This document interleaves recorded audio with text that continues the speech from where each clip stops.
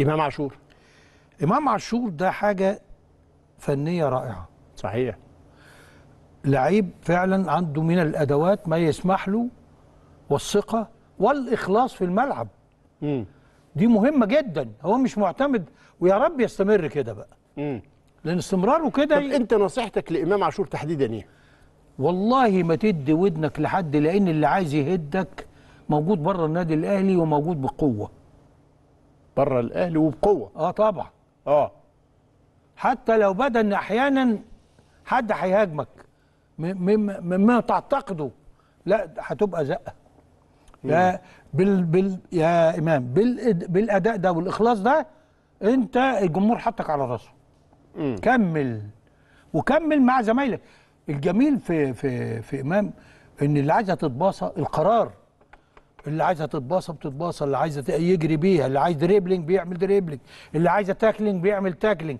ارتداده الدفاعي لاعب تشعر إنه لاعب ملتزم عايز يعمل حاجة لنفسه. ولمكانه. لا قماشه تانية فعلا. أرجو ان يستمر على هذا. أرجو عشان برضو لن نزودها ولا ندي توقعات. خاف عليه من إيه؟ خايف عليه ان إن هتيجي لحظة ممكن الناس ما تشوفش ده. امم نبقى فاهمين إن ده طبيعي.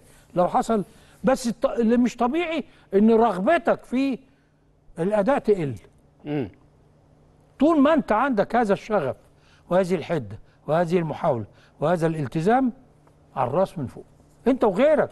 أنت وكل انت- واحد يخلص. أنت وغيرك. امم أنت و... وارجعوا يا, يا لاعبي الأهلي يا شباب الأهلي.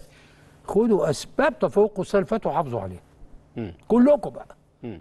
إحنا مش مش قصدنا نشد على حد ولا إحنا بندين تصرف مش شخص. أيوه. لأن الشخص قبل كده قدم حاجات كتير جدا كويسة. ومنتظر منه حاجات كتير تشفع له تشفع له إنه نعتبرها غلطة. آه.